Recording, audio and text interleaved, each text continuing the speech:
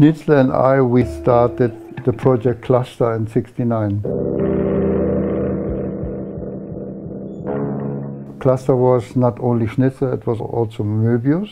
As Cluster with K, we did three records together. Klopfzeichen and Kluster 2 Osterei.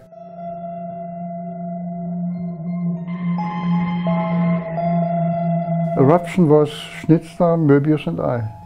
And then Schnitzler decided to get out of the group, to split with us. And then we continued as Cluster with C, Möbius and I, until 2010.